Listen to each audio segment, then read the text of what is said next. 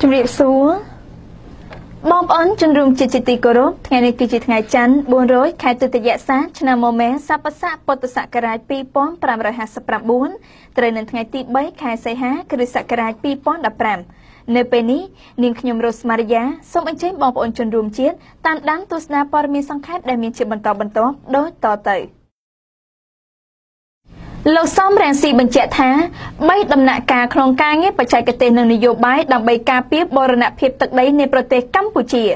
លោកអ្នកនាងជាទីមេត្រី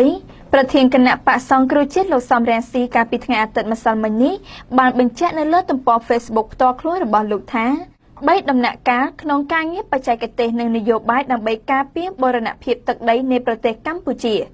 លោកសំរងស៊ីបានរៀបរាប់ថា ការងារបច្ចេកទេសនិងនយោបាយដើម្បីការពារបរណភាពទឹកដីនៃប្រទេសកម្ពុជាមាន3ដំណាក់កាលដាច់ពីគ្នាដូចតទៅដំណាក់កាលទី1គឺជ្រើសរើសផែនទីជាមូលដ្ឋានយកមកធ្វើការឲ្យស្របទៅនឹងផែនទីដូចមានបញ្ជាក់ក្នុងមាត្រា2នៃរដ្ឋធម្មនុញ្ញនៃព្រះរាជាណាចក្រកម្ពុជា គឺផែនទីបារាំងຂະຫນາດ1លើ100ពាន់ធ្វើឡើងក្នុងចន្លោះឆ្នាំ1933ដល់1953ចំណែកដំណាក់កាលទី2 គឺពេលណាបានជ្រើសរើសផែនទីត្រឹមត្រូវហើយអាជ្ញាធរខ្មែរយើងត្រូវធ្វើការវាស់វែងនៅទីកន្លែងគឺនៅតាមបណ្ដោយព្រំដែនដោយប្រើបច្ចេកទេសទំនើប GPS ដើម្បីកំណត់ទីតាំងនៃបង្គោលព្រំដែនដែលត្រូវបែងចែកទឹកដីរវាងប្រទេសកម្ពុជានិងប្រទេសជិតខាងនៅទីតាំងនីមួយៗអាជ្ញាធរត្រូវស្រង់និយមការ coordinate នៃចំណុចទាំងនោះយកមកដាក់បញ្ចូលក្នុងកម្មវិធីកុំព្យូទ័រដែលមានដាក់បញ្ចូលផែនទីត្រឹមត្រូវផងដែរ Digital Maps ដើម្បីផ្ទៀងផ្ទាត់ថាចំណុចនីមួយៗដែលត្រូវបោះបង្គោលនោះតើស្ថិតនៅចំពីលើបន្តព្រំដែនក្នុងផែនទីលើកញ្ចក់កុំព្យូទ័រឬក៏ស្ថិតនៅក្នុងទឹកដីនៃប្រទេសកម្ពុជាឬក៏ស្ថិតនៅក្នុងទឹកដីប្រទេសជិតខាងយើងអាចកត់សម្គាល់ថាមានបង្គោលមួយចំនួនធំស្ថិតនៅក្នុងទឹកដីប្រទេសកម្ពុជាឧទាហរណ៍នៅខេត្តរតនគិរីនិងមណ្ឌលគិរីមានបង្គោលខ្លះចូលមកក្នុងទឹកដីប្រទេសកម្ពុជា ក្នុងជម្រៅជាង10គីឡូម៉ែត្រ លោកសំរងស៊ីប្រធានគណៈបកសង្គ្រោះជាតិបានបង្ហាញដំណាក់កាលទី3ថាពេលណាការងារទាំងពីរខាងលើនេះត្រូវបានសម្រេចរួចរាល់ហើយអាជ្ញាធរខ្មែរយើងត្រូវពិនិត្យមើលថាតើប្រទេសជិតខាងបានគោរពបន្ទាត់ព្រំដែនដែលបានកំណត់ដោយខាងលើឬទេតាមករណីជាក់ស្ដែងជាច្រើនទោះជាការងារក្នុងចំណុចទី1និងចំណុចទី2ខាងលើនេះធ្វើបានត្រឹមត្រូវហើយយ៉ាងណាក៏ដោយក៏ប្រទេសវៀតណាមមិនគោរពបូរណភាពទឹកដីនៃប្រទេសកម្ពុជាឡើយ ហើយបានវាទីចូលមកក្នុងទឹកដីប្រទេសយើងយ៉ាងងងឹលឧទាហរណ៍នៅក្នុងស្រុកកំពង់រោលខេត្តស្វាយរៀងអាជ្ញាធរនិងប្រជាពលរដ្ឋវៀតណាមបានចូលមកកាន់កាប់ទឹកដីប្រទេសកម្ពុជាក្នុងជម្រៅប្រមាណ1គីឡូម៉ែត្រក្នុងចន្លោះបង្គោលលេខ202និង203ដោយគេចាត់ទុកថាទឹកដីខ្មែរតាមដងព្រំប្រទល់ដែនកន្លែងនោះគឺស្ថិតនៅក្នុងខេត្តឡុងអានរបស់ប្រទេសវៀតណាម សូមមើលផែនទីខេត្តឡុងអានរៀបចំដោយរដ្ឋាភិបាលវៀតណាមដែលយើងបានយកមកដាក់ត្រួតលើផែនទីស្របច្បាប់ខេត្តស្វាយរៀង ដោយករណីជាក់ស្ដែងបែបនេះដែលប្រជាពលរដ្ឋខ្មែរអាចមើលឃើញបានទាំងអស់គ្នាគឺរាជរដ្ឋាភិបាលកម្ពុជាត្រូវប្តឹងទៅសហគមន៍អន្តរជាតិអំពីទង្វើឈ្លានពានរបស់ប្រទេសវៀតណាមដែលជាការរំលោភច្បាប់អន្តរជាតិជាពិសេសរំលោភកិច្ចព្រមព្រៀងទីក្រុងប៉ារីសឆ្នាំ1991ស្ដីពីកម្ពុជាដែលតម្រូវឲ្យប្រទេសជាហត្ថលេខីទាំងអស់ក្នុងនោះមានប្រទេសវៀតណាមផងដែរគោរពឯករាជ្យភាពអធិបតេយ្យភាពនិងបូរណភាពទឹកដីនៃប្រទេសកម្ពុជា សូមបញ្ជាក់ថាកាលពីថ្ងៃទី30ខែកក្កដាឆ្នាំ2015កន្លងទៅថ្មីថ្មីនេះលោកសំរងស៊ីប្រធានគណៈបកសង្គ្រោះជាតិក៏បានអំពាវនាវតាមរយៈទំព័រ Facebook ផ្ទាល់ខ្លួនរបស់លោកថាឲ្យប្រទេសវៀតណាមគោរពនៅកិច្ចព្រមព្រៀងសន្តិភាពទីក្រុងប៉ារីសថ្ងៃទី23តុលា1991ស្តីពីកម្ពុជាផងដែរ លោកកឹមសុខាថាអំណាចមិនអាចឃុំឃាំងឆន្ទៈនិងសម្បញ្ញៈរបស់មនុស្សបានរហូតឡើយលោកអ្នកនាងជាទីមេត្រីប្រធានស្ដីទីគណៈបកសង្គ្រោះជាតិកាលពីព្រឹកថ្ងៃអាទិត្យម្សិលមិញនេះបានរៀបរាប់ថា គេអាចប្រើប្រាស់អំណាចដែលគេមានដោយបំពេញដើម្បីរារាំងខាត់ខាំងខ្លួនមនុស្សបានប៉ុន្តែគេមិនអាចឃុំឃាំងឆន្ទៈនិងសម្បញ្ញៈរបស់មនុស្សបានរហូតឡើយ។ លោកកឹមសុខាថ្លែងបែបនេះនៅក្នុងវេទិកាអ្នកតំណាងរាស្ត្រនិងម្ចាស់ឆ្នោត នៅភូមិព្រៃមិចឃុំវាលពុនស្រុកថ្ពងខេត្តកំពង់ស្ពឺព្រឹកថ្ងៃទី2ខែសីហាឆ្នាំ2015ម្សិលមិញនេះលោកកឹមសុខាអនុប្រធានទី1នៃរដ្ឋសភាបានបន្ថែមថាដែលហៅថាសង្គមល្អសង្គមជឿនលឿនគឺប្រជាពលរដ្ឋទាំងអស់នៅក្នុងសង្គមនោះរស់នៅប្រកបដោយសេចក្តីថ្លៃថ្នូរការគ្រប់គ្រងប្រទេសមួយ ដែលគេហៅថាប្រទេសល្អដែលគេហៅថាសង្គមល្អដែលគេហៅថាសង្គមរីកចម្រើនដែលគេហៅថាប្រទេសជឿនលឿនគឺប្រទេសនោះសង្គមនោះមនុស្សនៅក្នុងសង្គមនៅប្រទេសនោះគឺរស់នៅប្រកបទៅដោយសេចក្តីថ្លៃថ្នូរទើបគេហៅថាប្រទេសជឿនលឿនសង្គមជឿនលឿនផ្ទុយទៅវិញបើសិនណាជាអ្នកដឹកនាំប្រទេសអ្នកដឹកនាំមូលដ្ឋាន អ្នកដឹកនាំសង្គមមានអំនួតថាប្រទេសខ្លួនឯងជឿនលឿនប្រទេសខ្លួនឯងល្អប៉ុន្តែប្រជាប្រដ្ឋនៅបាត់បង់សេចក្តីថ្លៃថ្នូរនៅឡើយហ្នឹងនៅរងការជិះជាន់ធ្វើបាបពីអ្នកដទៃនៅឡើយស្រែចម្ការដីធ្លីព្រៃឈើកាប់កោះបានគេចង់មកយកវិញថ្ងៃណាក៏បានដែរហ្នឹងมันបាត់បង់នៅសេចក្តីថ្លៃថ្នូរមែនទេលោកតា បើបាត់បង់សេចក្តីថ្លៃថ្នូរពេលណាក៏បានបែបនេះរដ្ឋឬក៏អ្នកគ្រប់គ្រងអ្នកដឹកនាំមិនបានការពារនៅសេចក្តីថ្លៃថ្នូរឲ្យមនុស្សគ្រប់រូបបានទេ សង្គមនោះប្រទេសនោះមិនទាន់ហៅថាសង្គមជឿនលឿននៅឡើយទេហើយអ្នកដឹកនាំប្រទេសត្រូវគិតពីបញ្ហានេះជាបញ្ហាចម្បងដើម្បីធ្វើយ៉ាងណាក្នុងទួនាទីកតបកិច្ចរបស់ខ្លួនជាអ្នកដឹកនាំប្រទេសត្រូវតែរៀបចំឲ្យប្រជាពលរដ្ឋរបស់ខ្លួន ដែលជាមនុស្សទទួលបាននូវសិទ្ធិជាមូលដ្ឋានដូចខ្ញុំបានជម្រាបទៅការដែលធ្វើឲ្យប្រជាពលរដ្ឋមានសេរីភាពគឺជាចំណុចសំខាន់ដែលខ្ញុំក្នុងនាមជាអ្នកនយោបាយម្នាក់ខ្ញុំសន្សន្យាជាមួយបងប្អូនជនជាតិថានៅពេលដែលគណៈបកសង្គ្រោះជាតិឈ្នះឆ្នោតដឹកនាំប្រទេសហើយខ្ញុំនឹងឈានទៅដឹកនាំប្រទេសជាមួយអាយដាមអស់លោកទាំងអស់គ្នានេះចំណុចសំខាន់ទី1 ខ្ញុំត្រូវរៀបចំប្រទេសរៀបចំសង្គមយ៉ាងណាឲ្យប្រជាពលរដ្ឋខ្មែរទាំងអស់មានសិទ្ធិសេរីភាពយ៉ាងទូលំទូលាយនេះជាចំណុចទី1លីកាដូថានឹងផ្ដល់តនន័យជាក់លាក់តាក់ទងទៅនឹងចំនួនដីធ្លីទៅក្រសួងរៀបចំដែនដីព័ត៌មានដីធ្លីពីគេហទំព័រអស៊ីសេរីបានចុះផ្សាយឲ្យដឹងថាអង្គការសិទ្ធិមនុស្សលីកាដូអះអាងថានឹងផ្ដល់តនន័យជាក់លាក់ចំនួន7ចំណុចទៅក្រសួងរៀបចំដែនដីនៅពាក់កណ្ដាលខែសីហានេះ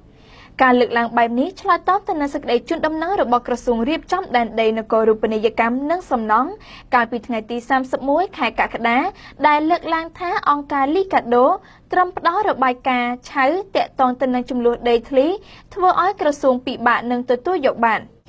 មន្ត្រីជាន់ខ្ពស់នៃអង្គការសិទ្ធិមនុស្សលីកាដូអះអាងនៅថ្ងៃទី1ខែសីហានេះថាខ្លួនមិនអាចនឹងផ្ដល់ទិន្នន័យជាក់លាក់ទាក់ទងទៅនឹងចំនួនដីធ្លីទៅក្រសួងរៀបចំដែនដីនគររូបនីយកម្មនិងសំណង់នោះទេ មន្ត្រីជាន់ខ្ពស់នៃអង្គការសិទ្ធិមនុស្សលីកាដូលោកអំសំអាតឲ្យដឹងថាអង្គការលីកាដូនៅតែរីករាយផ្ដល់ទិន្នន័យជាក់លាក់ពីករណីចំនួនដីធ្លីទៅក្រសួងតាមការចង់បាន។លោកបន្តថារបាយការណ៍របស់លីកាដូនេះពេលកន្លងទៅនោះគឺគ្រាន់តែជាទិន្នន័យមូលដ្ឋានដើម្បីឲ្យក្រសួងរៀបចំដែនដីយករបាយការណ៍ទាំងនោះធ្វើជាពន្លឺយកទៅដោះស្រាយនិងស្វែងរកបន្ថែម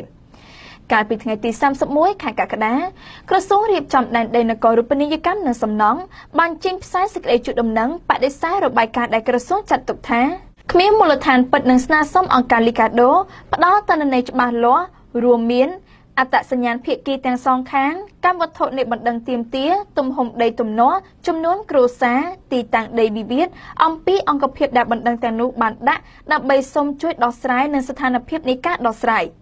ថ្លែងបញ្ជាក់បន្ថែមពីសេចក្តីជូនដំណឹងនេះអ្នកនាំពាក្យក្រសួងរៀបចំដែនដីនគររូបនីយកម្មនិងសំណង់លោកសេងលតថាកន្លងមកក្រសួងតែងស្នើសុំទិន្នន័យបន្ថែមពីអង្គការលីកាដូប៉ុន្តែមិនដែលទទួលបានការឆ្លើយតបនៅឡើយទេគេហទំព័រដដែលនេះបានឲ្យដឹងបន្ថែមតាមរយៈអ្នកនាំពាក្យរូបនេះលើកឡើងថា ទោះរបាយការណ៍របស់ក្រសួងរៀបចំដែនដីខុសពីរបាយការណ៍របស់អង្គការលីកាដូតែក្រសួងនៅតែចង់បានរបាយការណ៍ពីអង្គការលីកាដូឬអង្គការផ្សេងៗទៀតដើម្បីយកមកពិភាក្សារកដំណោះស្រាយរបាយការណ៍របស់ក្រសួងរៀបចំដែនដីនគររូបនីយកម្មនិងសំណង់ឲ្យដឹងថាចាប់តាំងពីឆ្នាំ2003មកដល់បច្ចុប្បន្ននេះចំនួនដីធ្លីទូទាំងប្រទេសកើតឡើងប្រមាណ8000ករណីក្នុងនោះដោះស្រាយបានជាង3000ករណីនិងជាង2000ករណី ត្រូវក្រសួងច្រានចោលហើយនៅឆ្នាំ2015នេះនៅសល់ជាង800ករណីក្រសួងកំពុងដោះស្រាយការឆ្លើយឆ្លងរវាងអង្គការលីកាដូនិងក្រសួងរៀបចំដែនដីនគររូបនីយកម្មនិងសំណង់នេះក្រោយពេលដែលអ្នកនាំពាក្យទីស្តីការគណៈរដ្ឋមន្ត្រីលោកផៃស៊ីផានថ្លែងអះអាងនៅក្នុងវេទិកាអ្នកស្ដាប់វិទ្យុអេស៊ីសេរីកាលពីរាត្រីថ្ងៃទី28ខែកក្កដាថាអង្គការលីកាដូទទួលស្គាល់ថា របាយការណ៍ខ្លួនចេញរបាយការណ៍ចំនួនដីធ្លីឆ្នាំ2014នោះ ខនឹងបានសុំទោសក្រសួងរៀបចំដែនដីនគររូបនីយកម្មនិងសំណង់ប៉ុន្តែអង្គការលីកាដូជាលិខិតជូនដំណឹងការពីរបាយការណ៍របស់ខ្លួននឹងថាមិនបានសុំទោសក្រសួងរៀបចំដែនដីទេកាលពីថ្ងៃទី19ខែកុម្ភៈឆ្នាំ2015អង្គការលីកាដូបានចេញផ្សាយរបាយការណ៍របស់ខ្លួនថានៅឆ្នាំ2014ករណីចំនួនដីធ្លីមានចំនួន112ករណីទូទាំង13ខេត្តរាជធានីប៉ុន្តែក្រសួងរៀបចំដែនដីរកឃើញតែ59ករណី អញ្ញាធរខេត្តត្បូងឃ្មុំមិនទាន់រកឃើញអ្នកវាយកំទេចបង្គោលរណបព្រំដែនលោកអ្នកនាងជាទីមេត្រីព័ត៌មានជាតិពីគេហទំព័រអាស៊ីសេរីបានចុះផ្សាយដឹងថាអញ្ញាធរនៅស្រុកមេមត់ខេត្តត្បូងឃ្មុំនៅមិនទាន់កំណត់មុខសញ្ញាបាននៅឡើយទេជុំវិញការវាយបង្គោលព្រំដែនដែលជាប្រភេទបង្គោលរណបទើបនឹងបោះក្នុងពេលថ្មីថ្មីនេះយ៉ាងណាពួកគេថា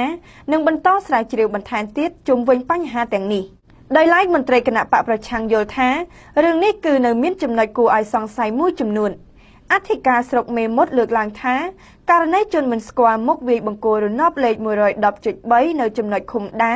គឺសមត្ថកិច្ចនៅមិនទាន់អាចកំណត់មុខសញ្ញាបានយ៉ាងណានៅឡើយ អធិការនគរបាលស្រុកមេមត់ដែលទៅនឹងបដូរមកថ្មីលោកហុងគឹមហ៊ឿនមានប្រសាសន៍ថាករណីវាយបង្គោលព្រំដែនដែលជាប្រភេទបង្គោលថ្មិញរណាឬជាបង្គោលរណបនេះអាជ្ញាធរមិនទាន់អាចសន្និដ្ឋានបានយ៉ាងណានៅឡើយទេមកទល់នៅពេលនេះលោកបន្តថាដោយករណីនេះជាដែនសមត្ថកិច្ចរបស់មន្ត្រីកិច្ចព្រំដែនដូចនេះខាងលោកគ្រាន់តែជាអ្នកស្រាវជ្រាវហើយផ្ញើរបាយការណ៍ជូនគណៈកម្មការព្រំដែនប៉ុណ្ណោះ។ គេហទំព័រអាស៊ីសេរីដដែលនេះបានបន្ថែមទៀតថាបង្គោលរណបលេខ110.3ស្ថិតនៅចន្លោះបង្គោលព្រំដែនលេខ110និង111ដែលអាជ្ញាធរព្រំដែនកម្ពុជានិងវៀតណាមនាំគ្នាបោះកាលពីថ្ងៃទី24ខែកក្កដាការបោះបង្គោលពេលនោះគឺរងការរិះគន់ពីប្រជាពលរដ្ឋនិងសមាជិកក្រុមប្រឹក្សាស្រុកមកពីគណៈបកប្រឆាំងថាធ្វើឡើងដោយលាក់លៀមព្រមទាំងមិនមានដំណាភាព។ បន្ថែមពីនេះគឺធ្វើឡើងនៅក្នុងពេលបញ្ហាព្រំដែននៃប្រទេសទាំងពីរកំពុងមានសភាពតានតឹងខ្លាំងទៀតផងក្រោយពេលបោះបង្គោលរណបនោះបានមួយថ្ងៃគឺយប់ថ្ងៃទី25ខែកក្កដាបង្គោលស៊ីម៉ង់4ជ្រុងដែលមានលេខសម្គាល់110.3បោះនៅក្បែរប៉ុស្តិ៍ព្រំដែនខ្មែរគឺត្រូវបានជនមិនស្គាល់មុខវាយកំទេចដល់ដីហើយរបាំងឈើនិងបន្លាដាក់ហុំព័ទ្ធជុំវិញក៏ត្រូវគេយកបោះចោលយ៉ាងស្អាតទៀតផងតកតងបញ្ហានេះសមាជិកក្រុមប្រឹក្សាស្រុកមេមត់មកពីគណៈបកសង្គ្រោះជាតិលោកគង់សំអានដែលចុះពិនិត្យផ្ទាល់ក្រោយកើតហេតុបានមួយថ្ងៃមានប្រសាសន៍ថាគឺជារឿងគួរឲ្យសង្ស័យព្រោះប៉ុស្តិ៍ព្រំដែនខ្មែរចម្ងាយប្រមាណ50ម៉ែត្រពីបង្គោលនោះហើយដាក់កម្លាំងយាមកាមទាំងយប់ទាំងថ្ងៃប៉ុន្តែបែរជាមិនបានដឹងហេតុការណ៍ដែលកើតឡើងទៅវិញលោកបន្តថាដោយសារការបោះបង្គោលរណបគឺធ្វើឡើងដោយមិនមានដំណាភាពទើបធ្វើឲ្យពលរដ្ឋមួយចំនួនមិនពេញចិត្តរហូតឈានដល់មានជនមិនស្គាល់មុខលួចវាយបង្គោលនោះចោល លោកស្នើឲ្យរាជរដ្ឋាភិបាលឬគណៈកម្មការព្រំដែនគប្បីធ្វើសេចក្តីសម្រេចណាមួយពាក់ព័ន្ធនឹងរឿងព្រំដែនគឺធ្វើឡើងឲ្យបានត្រឹមត្រូវនិងប្រកបដោយតម្លាភាពម្យ៉ាងត្រូវមានការចូលរួមពីអាជ្ញាធរមូលដ្ឋាន និងប្រជាពលរដ្ឋទូទៅ ដើម្បីជៀសវាងមានបញ្ហាណាមួយកើតឡើង។តកតងបញ្ហាព្រំដែននេះដែរកន្លងទៅអ្នកវិភាគនិងមន្ត្រីគណៈបកប្រឆាំងបានលើកឡើងថាក្នុងកលៈទេសៈប្រទេសកម្ពុជានៅមិនទាន់ឯកភាពគ្នាចំពោះរឿងផែនទី ខាងអាញាធរវៀតណាមមិនត្រូវបន្តបោះបង្គោលព្រំដែនណាមួយទៀតឡើយ។លើកពីនេះសមត្ថកិច្ចនិងរាជរដ្ឋាភិបាលខ្មែរក៏មិនត្រូវអនុញ្ញាតឲ្យមានការបោះបង្គោលព្រំដែនបន្តទៀតដែរគឺត្រូវរងចាំយកផែនទីពីអង្គការសហប្រជាជាតិនិងបណ្ដាប្រទេសមហាអំណាចមកផ្ទៀងផ្ទាត់ជាមួយនឹងផែនទីដែលរាជរដ្ឋាភិបាលកម្ពុជា កំពុងប្រើប្រាស់បច្ចុប្បន្នជាមុនសិនជាងនេះទៀត ពួកគេក៏បានជំរុញឲ្យរដ្ឋាភិបាលខ្មែរក៏បីប្រើប្រាស់យន្តការអន្តរជាតិដើម្បីដោះស្រាយវិបត្តិព្រំដែនជាមួយនឹងប្រទេសវៀតណាមទៀតផង។លោកគីមចុងអ៊ុនទទួលបានពានប្រឆាំងអំណាចចក្រពត្តិនិងអាណានិគមពី Sukarno Center ព័ត៌មានអន្តរជាតិពីគេហទំព័រថ្មីថ្មីបានចុះផ្សាយដឹងថាលោកស្រី រាជមាវទីសកាណូពូត្រី ដែលជាកូនស្រីរបស់ស្ថាបនិកមជ្ឈមណ្ឌលស៊ូកាណូបានជូនដំណឹងទៅកាន់អគ្គរដ្ឋទូតកូរ៉េខាងជើងប្រចាំឥណ្ឌូនេស៊ីដើម្បីពិភាក្សាពីការផ្ដល់ពានរង្វាន់សន្តិភាពទៅកាន់មេដឹកនាំរបស់លោកគីមចុងអ៊ុននេះបើយោងតាមសារព័ត៌មាន Jakarta Post យោងតាមការបញ្ជាក់របស់លោកស្រី Rajmawati Sakanoputri ពានដែលនឹងត្រូវផ្ដល់ឲ្យលោកប្រធានាធិបតីគីមចុងអ៊ុនក៏ព្រោះតែលោកបានបន្តនូវគោលនយោបាយរបស់លោកគីមចុងអ៊ីលដែលជាមេដឹកនាំដ៏អស្ចារ្យក្នុងការប្រឆាំងទៅនឹងរបបចក្រពត្តិនិយមគួររំលឹកផងដែរថាពានរង្វាន់ Sukano Sukano Prize គឺជាពាននៃការទទួលស្គាល់នៃការកសាងសន្តិភាពនិងការអភិវឌ្ឍពិភពលោករបស់មេដឹកនាំកម្ពុជា ពេលនេះធ្លាប់ប្រកល់ឲ្យមេដឹកនាំមួយចំនួនរបស់អាស៊ីរួមមានមេដឹកនាំបកប្រឆាំងមីយ៉ាន់ម៉ាលោកស្រីអង្សានស៊ូជីនិងលោកមហាថ្មគុន្ធីវីរបុរសឥណ្ឌានិងលោកគឹមអ៊ីលសុងជីតារបស់លោកគឹមចុងអ៊ុនផងដែរគេហទំព័រដដែលនេះបានបន្ថែមថាថ្មីត្បិតកូរ៉េខាងជើងបានប្រកាន់ខ្ជាប់នៅគោលការណ៍ឯករាជ្យមិនស្ថិតក្រោមការគ្រប់គ្រងប្រទេសណាក៏ដោយបើយើងក្រឡេកមើលការកសាងសន្តិភាពសម្រាប់ពិភពលោកវិញនោះលោកគឹមចុងអ៊ុនមិនបានធ្វើនោះទេ ផ្ទុយទៅវិញសកម្មភាពរបស់លោកគឹមចុងអ៊ុនក្នុងការបន្តអភិវឌ្ឍកម្មវិធីនុយក្លេអ៊ែរនិងផលិតអាវុធប្រឡាយលោកគឺកំពុងតែគំរាមកំហែងដល់សន្តិសុខនិងសន្តិភាពរបស់ពិភពលោកកាន់តែខ្លាំងឡើងបារាំងនិងអង់គ្លេសបដិញ្ញាថាការបញ្ចប់វិបត្តិជនចំណាក់ស្រុកកាឡេសជាអតិភិប លោកនាងជាទីមេត្រីព័ត៌មានអន្តរជាតិពីគេហទំព័រភ្នំពេញប៉ុស្តិ៍បានចុះផ្សាយដឹងថាបារាំងនិងចក្រភពអង់គ្លេសបានបដិញ្ញាការពីថ្ងៃអាទិត្យថាការបញ្ចប់វិបត្តិមួយដែលគេឃើញជនចំណាក់ស្រុករាប់ពាន់នាក់ ប៉ុនប៉ងចេញពីក្រុងកាឡេសទៅអង់គ្លេសក្នុងប៉ុន្មានសប្តាហ៍ថ្មីៗនេះគឺជាអតិភិបកំពូលសេចក្តីថ្លែងការណ៍រួមនោះបានកើតមានខណៈដែលអ្នកតាក់តែងច្បាប់ប្រឆាំងបារាំងម្នាក់បានចោទប្រកាន់នាយករដ្ឋមន្ត្រីអង់គ្លេសលោក David Cameron ពីបទបរាជ័យពុំអាចដោះស្រាយភាពធ្ងន់ធ្ងរនៃបញ្ហានោះនិងបាននិយាយថាជនចំណាក់ស្រុកទាំងឡាយមិនគួរត្រូវបញ្ឈប់មិនឲ្យទៅអង់គ្លេសនៅទេដរាបណាវិធានការកាន់តែរងមាំទាំងឡាយមិនត្រូវបានធ្វើនោះទេ គេហទំព័រដដែលនេះបានបន្ថែមទៀតថាជនចំណាក់ស្រុករាប់រយនាក់បានព្យាយាមចូលទៅក្នុងផ្លូវរួមក្រោមសមុទ្រក្នុងសប្តាហ៍ថ្មីៗនេះក្នុងក្តីសង្ឃឹមថាអាចរកផ្លូវមួយទៅកាន់រថភ្លើងឬរថយន្តធំដែលធ្វើដំណើរទៅចក្រភពអង់គ្លេសជនចំណាក់ស្រុកយ៉ាងតិច10នាក់បានស្លាប់នៅក្នុងការប៉ុនប៉ងធ្វើដំណើរដ៏គ្រោះថ្នាក់ចាប់តាំងពីខែមិថុនាមក។ កាលពីដើមសប្តាហ៍នេះរដ្ឋាភិបាលចក្រភពអង់គ្លេសបានសន្យាផ្តល់ប្រាក់10លានអឺរ៉ូដើម្បីកែលម្អរបងជុំវិញស្ថានីយចំណតរថភ្លើង Eurotunnel នៅតំបន់ Kokel ខាងក្រៅក្រុង Calais ហើយលោកកាមេរូនដែលបានប្រមានថាវិបត្តិដែលអាចអូសបន្លាយពេញមួយរដូវក្តៅនេះបានសន្យាផ្ដល់ការពាត់របងថែមទៀត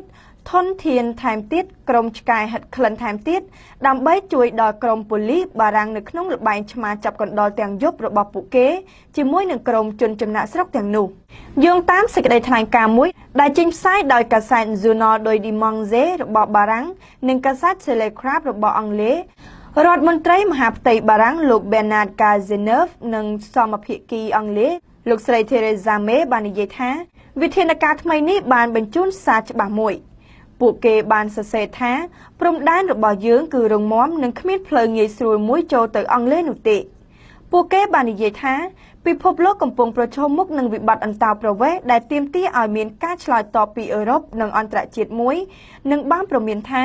បន្ទុកនៃការរកវិធីដោះស្រាយបញ្ហានេះមិនគួរពឹងផ្អែកលើអង់គ្លេសនិងបារាំងតែមួយនោះទេ។ ពួកគេភ័យច្រើននៅកាឡេសនិងកំពុងប៉ុនប៉ងឆ្លងកាត់ដៃសមុទ្រនោះបានធ្វើដំណើរទៅទីនោះតាមអ៊ីតាលី ក្រិចឬបណ្ដាប្រទេសជាច្រើនទៀតលោកអ្នកនាងជាទីមេត្រីព័ត៌មានសង្ខេបរបស់ក្រុមការងារនាងខ្ញុំនៅពេលនេះបានមកដល់ទីបញ្ចប់ហើយនាងខ្ញុំយូច័ន្ទធានីសូមថ្លែងអំណរគុណយ៉ាងជ្រាលជ្រៅចំពោះលោកអ្នកនាងដែលបានតាមដានទស្សនាកម្មវិធីនេះតាំងពីដើមរហូតដល់ទីបញ្ចប់ សូមអរគុណសូមគោរពលា